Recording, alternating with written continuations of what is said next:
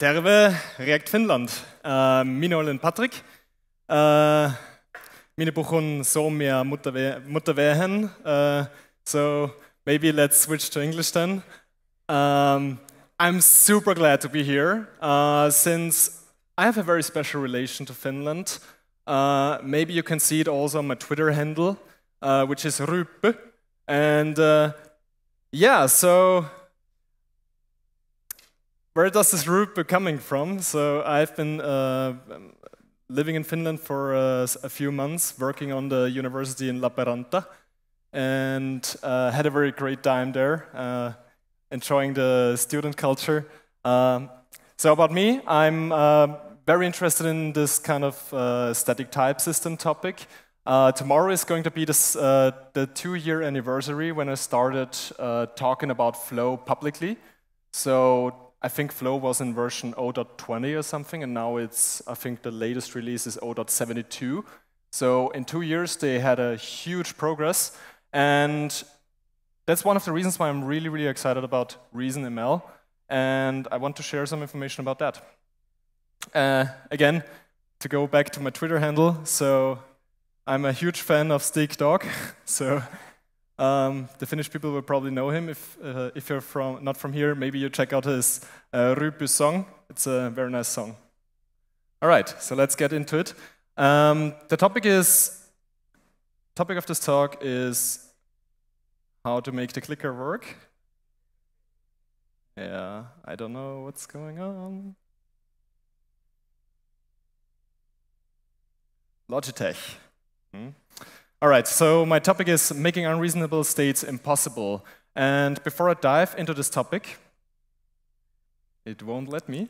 So before I get into this topic, uh, it's going to be a topic uh, which is about type-driven development.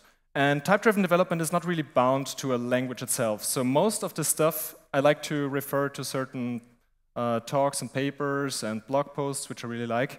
Um, Minsky, who is very famous uh, in the OCaml world, he was talking about uh, all the stuff I'm talking about mm, uh, already like, like, several years ago, and there's also some uh, very nice talk of, um, of Richard Feldman. Uh, you probably know him from Elm, and he tried to statically type CSS as well. So it's a very well-known topic, and I uh, encourage you to check these out if you're interested in that.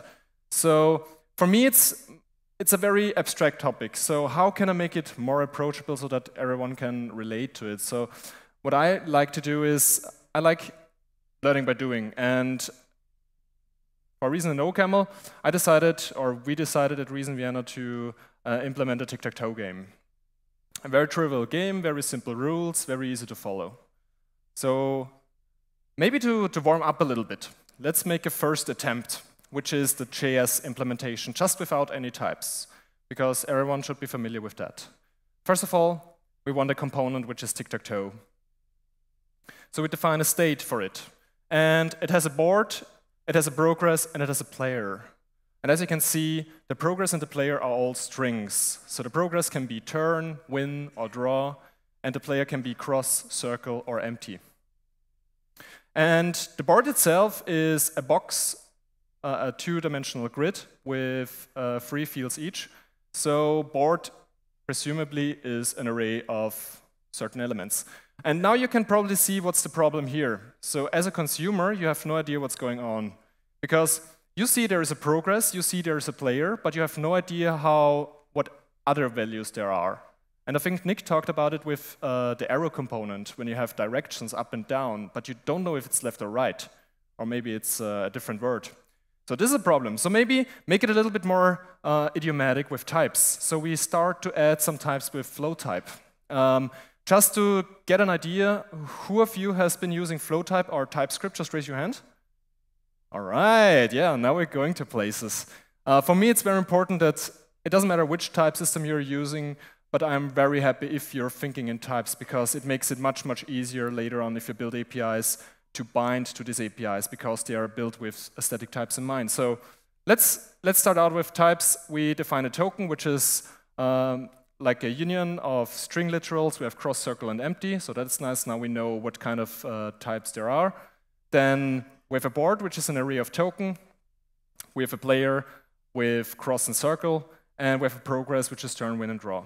And now we can define our state very cleanly with a board, progress, and a player.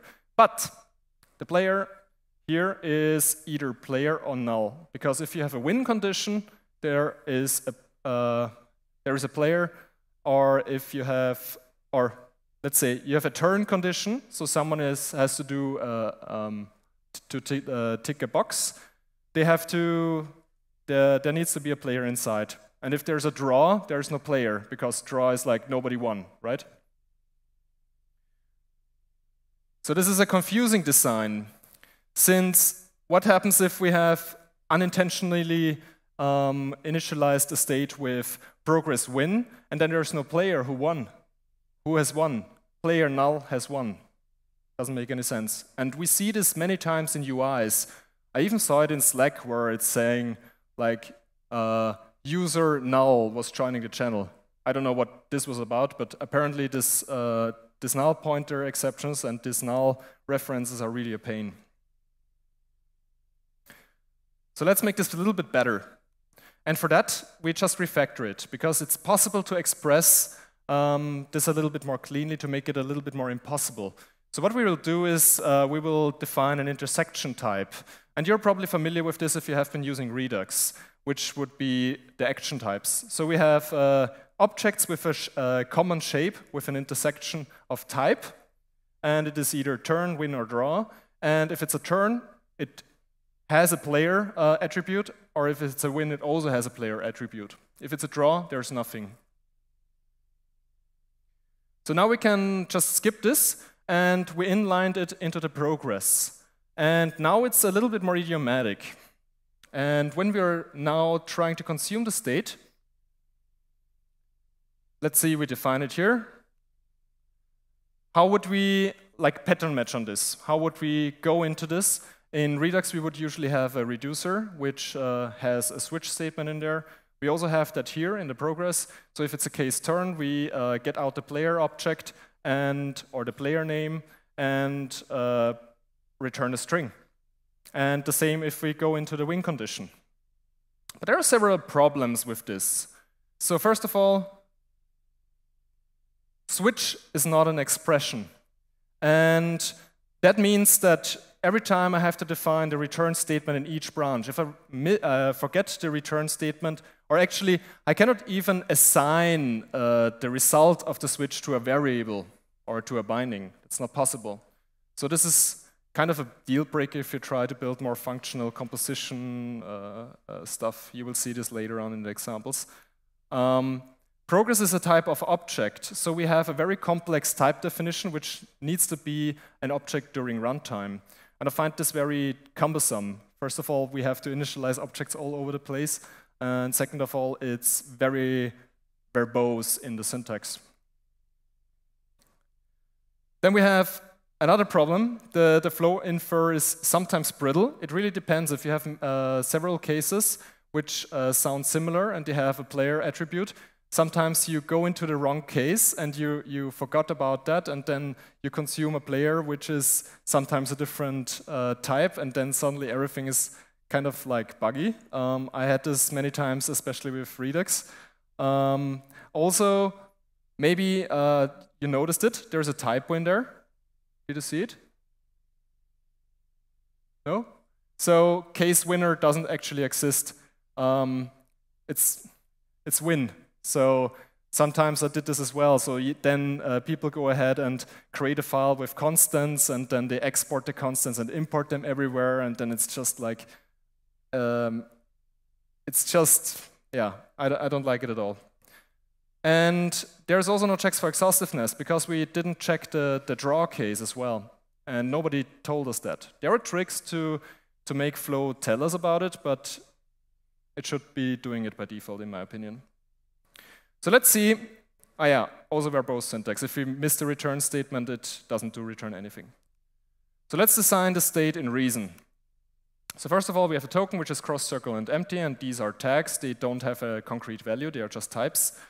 We have a board, which we will define later. We have a player which crosses circle. We have a progress, which is uh, a variant.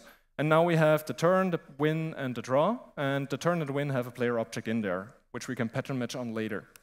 And we have a state which is exactly the same as in flow. It looks like flow, but uh, you will see it's much more sturdy. So let's see that in action. We define a progress, which is of turn cross. And now we can just switch on that. And there are several advantages of this now. First of all, we have exhaustive pattern matching. If we leave out a case, it will tell us. Second of all, all branches need to return the same value. And as Nick said, the last statement in a function body is the return value. So this is returning the, the string. The switch is an expression, so we can assign the return value of each branch to a variable and uh, or pipe it to another function. And if you look at the syntax, it's also less verbose in some way. I don't know, it's just also, um, I think Sven was talking about uh, scope hoisting. So actually in the case, sometimes you need curly braces, otherwise it will hoist the, the declarations you do in there uh, to the top of the switch scope, which is also not nice. So there are many pitfalls in JavaScript, and then you have no type checker, so yeah, so what about the board? So there is um, multiple ways to design this, and this is uh, the core of this talk, actually. So we have a board, which could be a list of tokens, and there is now the problem that we can define. So we want we want to implement a tic-tac-toe, right? With with nine fields, the classic uh, the classic game. So we could define a board, and this will type check uh, just fine. It has, for instance, nine elements in there with empty, empty, empty, empty. Or we have something weird, so we can define this, it has only three elements. That doesn't make any sense because it's not supposed to be like this. It should be nine fields. And we can also do one. And I mean, this is the more generic, more runtimey uh, way of doing things. It's kind of clever because you need to think about um, all, uh, all the list access and, and all the, the exception handling and everything. Uh, you need to, to, to validate the input uh, if you expose an API. And it's a lot of cognitive uh, load, so you need to remember, okay, how many elements did I store in there? Or maybe you manipulate a list somewhere, and then you need to keep track where did you manipulate the list. Um, it's potentially unsafe code because it can break, and we have more tests to write because we always need to check, okay, if I pass in three elements, if I pass in six elements, does it do what I want? So let's make this unrepresentable. Uh, make this unrepresentable board impossible. So we don't even allow that you can pass in more than, than uh, or less than nine values. So we define a row, which is a tuple, which has the exact size of three, three tokens. Then we define a board, which is of three rows, which is also a tuple. So now we can define a row with three empty, and this would be OK. This would type check. Um, if we try to pass in less values, the compiler will tell us, I don't know any tuple type of type row which has two elements. You need to pass maybe three elements. If I try to pass more, then it will tell me there is only one with three elements. Do you mean the one with three?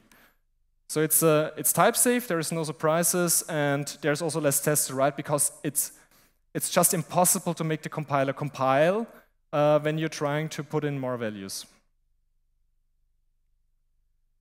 The problem is it's a little bit more verbose, and um, I don't actually care too much about the verbosity if it's just that simple code. It really is like just you just type it. It's not you don't have to worry about too many things. So maybe let's give you an example. Uh, first of all, we need some helper types. So we define um, variants which express a certain selection. So if I select column one or row one, so it's like this grid. So basically what we think, how we think to play this game. And so in, for instance, if we try to get a token from a board, column row, we would get a token. Uh, we have a function get token, which gets the board, which gets the row ID, which gets the column ID, and then we pattern match on all this kind of stuff, and then we go uh, further. It's like this function definition. Then you have a token to the board. So we have update board, which uses update column, which uses, okay, wait, it's too fast, right? Um, maybe let's slow a little bit down and uh, do a little bit of live coding. So um, can you please say yes if you can see everything properly? Is it? All right, nice. Okay. So I have a repository. It's, the link is also in the slides, which I will publish later on. Um, so first of all, I will show you the app. It's uh, already complete. So it's a basic tic-tac-toe game, and you can, yeah, you can just play, and it will tell you who is doing the turn. So it's a draw, and then you can also restart it. So this is basically the app. And what I want to show you is a little bit of how it feels to write a little bit of reason code, because a lot of people tell about it, but they never really show the editor setup. And a word of caution, I'm actually sometimes nervous at live coding, so let's see how this turns out. Um, so, uh, yeah, if anything goes wrong, I will just curse and finish, I guess. All right. So so we have our demo here. It's just a module inside our source folder. Um, each file is a module by default, so it will be exposed as demo, uh, like as a demo module. And we have uh, all the elements which I was discussing before. We have a token, we have a player, we have a progress, we have a, col a column ID, we have a row ID, uh, we have a row, we have a board. Then we have uh, just a toString function for our tokens. So if it's an empty circle or cross, we will just return the, the string representation. And then we have a test board so I can show you what's the result. So let's see how the get token function would look like. So we would define a let get token, which gets a board, which gets a row ID, which gets a column ID.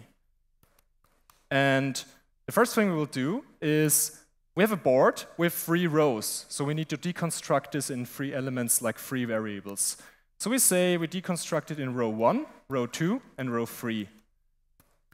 This is valid reason code. And now row 1 is, it will tell us it's unused because it is also a linter. The compiler also tells you if, if you're not using certain values. So we see this is unused and this is unused. And by the way, if there is an error down there, this is the BuckleScript compiler which compiles to JavaScript. If there's an error, it will show us the error nicely in the console. It's just running in the background. It's really fast. So if I I just, yeah, you see how fast it compiles. Anyways, um, we also define a from row, which is just an intermediate function, which gets a row. And it will switch on the column ID. Because now we need to find out from a specific row, like this, we need to return an element. So if it's C1, actually we can, we can also deconstruct it here. So we say, we deconstruct the uh, we destruct the row inside the, the parameter definition. And then we just say on C1 we return T, T1, the token, the first token in this row. If it's C2, it's T2. If it's C3, T3. Hopefully this works. Then we have probably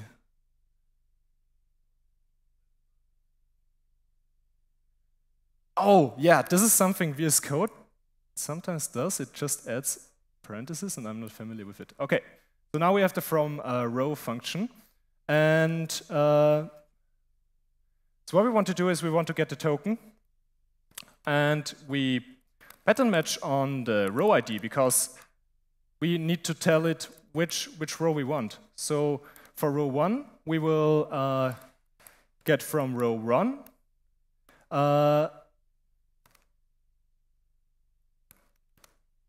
from row R2 and from row R, uh, row 3. Does this make any sense? So we take the first row, second row, and third row, and then we already uh, added the column ID in there. So it will just it will just deconstruct these two tuple structures. That's all it does. The last statement uh, is also uh, a switch, so it will be automatically the return type of this. And if we look at the function definition, it looks a little bit funky right now because it does a lot of type inference. So if you give it some more type information, it should automatically infer all the values. So it automatically sees the first uh, value is a board, so the second and third needs to be of type row ID and of type column ID. So this is really nice. I think I don't even need to do the token. I think it will automatically know it. So it, it automatically knows that there's a token in there because there are token in the board. All right. And to verify this, um, maybe, I mean, this is just, each module will be transpiled to a JavaScript module. So we can also just drop in some typical JavaScript like in Node. Um, so we will call this function here, get token, and I already prepared the test board. So it's, maybe we'll make this a little bit closer. So we will just try to access the second element in the second row, which should be cross. So we gave it the test board, and we give it R2. So we cannot even switch it around. We cannot even mistakenly switch around the column and row here. C2, which should return a token. And uh, the token sh uh, should be piped into the token to string. So it returns a string afterwards. You can see it here. And then we pipe it to Js.log, which will do just log. It just does a side effect here. And hopefully if this works, it should compile. So you can see every time this thing compiles, you can be sure this code should run, especially if you're just in the reason space, because uh, the way the OCaml system works, uh, it's, it's pure in that regard, as long as you don't do any funky JavaScript side effects. So now we want to see the result of this statement. And BuckleScript usually stores the, the uh, transpiled packages, the modules inside the lib folder. There's a JS source, you can find all the JavaScript files in there, and we can just run them. And it's cross. Okay, maybe let's try another value. Let's try the first value in the first row. Circle. Here we go. So that's that. And uh, you can imagine, okay, maybe let's do another function here. For instance, is empty token. It's a very, it's a no-brainer actually. Because what we do is we just think about the types we pass in and what we expect to come out. So let's define this. We say is empty token. Um, it gets a token and it just pattern matches on it. And if the token is empty, we will just uh, return true. And now you see the squiggly lines. It will tell me this pattern matching is not exhaustive. Here is an example of a value that is not matched, circle or cross. Suddenly we know, okay, yeah, maybe we should also cover these cases. I could do either circle cross if I want to be explicit, or there is a default case, because in many cases I just care about the empty. So we just do the default case and that's it. It's, it's no-brainer. I don't even have to look at the console, try it out, write Jest tests or whatever. It's just like you satisfy the compiler and everything just works. And this is what just blows my mind because every time it's like, uh, ah, I need to check for null values, I need to check for this and that and this. Um, you don't have that here. And don't worry about the code examples. Um, everything is on the repository. You can check it out later if you're interested in that. So the conclusion itself is it's a more rigid design. Um, it's more keep it simple than don't repeat yourself. You have to repeat yourself and, and be a little bit more verbose um, for a more rigid design. Uh, it forces all the edge cases to be handled. As you can see with the is empty token, it has exhaustive pattern matching. You don't have to satisfy the compiler because it's just a warning. Sometimes you just always want this, so you can set the warning to an error as well. Um, so you can really have a nice, uh, you have an idea where the edge cases are. And uh, other alternatives to make this more flexible, because a lot of people will say, what if I want to have a tic-tac-toe with 20 rows and 20 columns? Then it's probably too verbose to write. You can combine both worlds. You can write an interface which exposes um, the board as a tuple system to the user, so the user cannot really, with your API, cannot mess around with it. And inside your library, you just convert it to a list, and then you do your funky stuff in there, or vice versa. And there's this very nice tweet of Cheng Lou, who said, remember high school, different solutions to a problem was fine, but differing units in the end means you probably misunderstood the problem. And this is um, like, whenever I was programming, uh, this applied a lot. Sometimes I was just adding uh, certain, like I was trying to adding some strings and then I added some object to the string. And I mean, if you try to calculate uh, the volume of a swimming pool and you try to use kilogram to, to calculate the size, then it's not going to work. And this is what uh, type systems always talk about. Okay, so do we have more time for one more thing, I guess? Yeah, we have five minutes. Oh, we have to be fast. So I wanted to show another example of async querying, but I had no server, so I wrote myself uh, a tic-tac-toe as a service, TTT AAS, and it's written in OCaml, actually, and it has actually only one route, uh, route which is get load. So it, it um, gives you back an initial state uh, which we can wait on. And we also want to introduce a loader component, and we call it uh, tic-tac-toe loader. So what it does is it has a loader state with data option tic-tac-toe state and loading bool. No, no, wait, wait, wait. No, we don't want that. That's exactly what I was talking about. We don't want this even to happen. Because a lot of people see this in UIs where they were like typing and then the query goes off and it's loading and people are like, is data there? If it's not there, it's probably loading, so they show loading, although the query didn't even happen yet. So we don't want it. We want to make it impossible. So let's see how we can make this better. So we uh, define a type remote data, which is uh, four states not asked. So the request didn't even happen yet. Pending, the request is loading. Success, we got the success, uh, successful result, which is parsed um, as a tic-tac-toe state, and error if something else happens. And so we uh, define a loader state which is remote of type remote data. And in the render function, we can now access the state. So it's if, if we're talking in a reason React uh, context. So this would be a reducer component. It has a state. And inside the state, we just ask, is it not asked? Is it loading? Is it error? Is it success? And uh, depending on this, we can uh, destructure on, on the data which coming out as a board in progress and uh, give it to the tic-tac-toe component.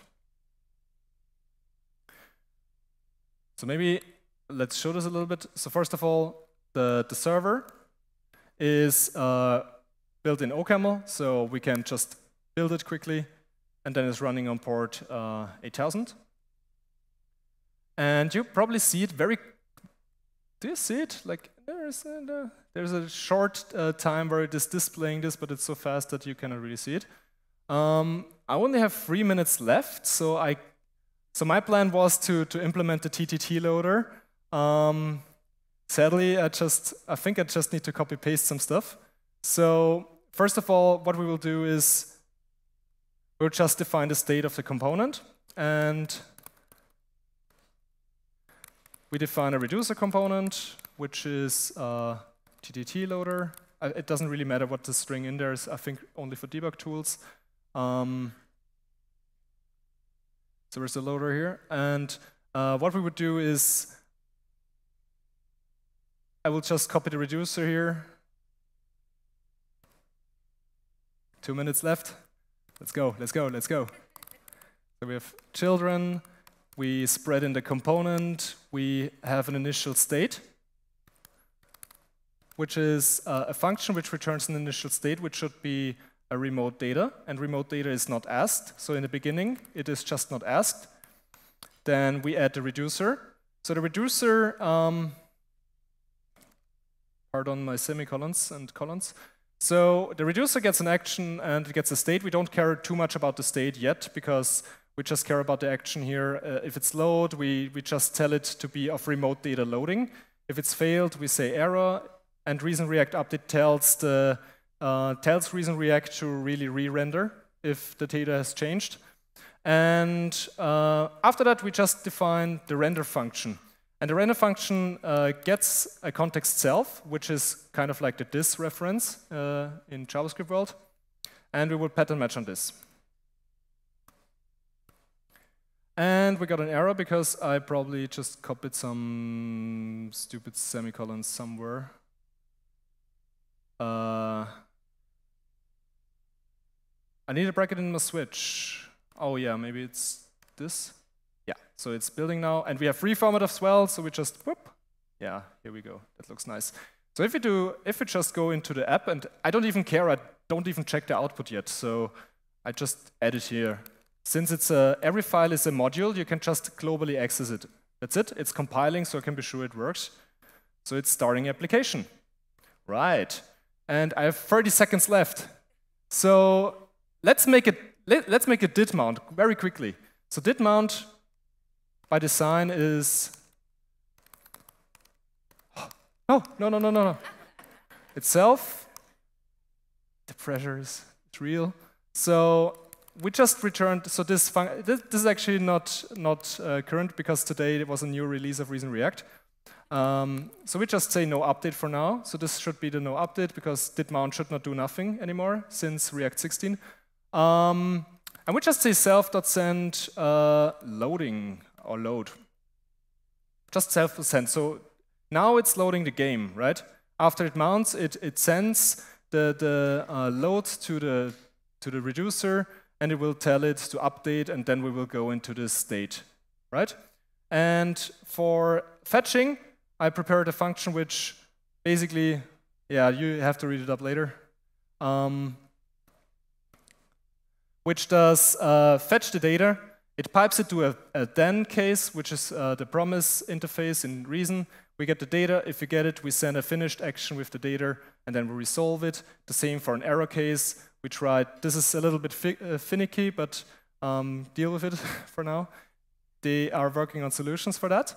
Um, also for sound promise, because they're not uh, type safe yet. Um, yeah, we send a, a failed, and that's it. And if we, it's so fast that I cannot even follow. And that's it. All right.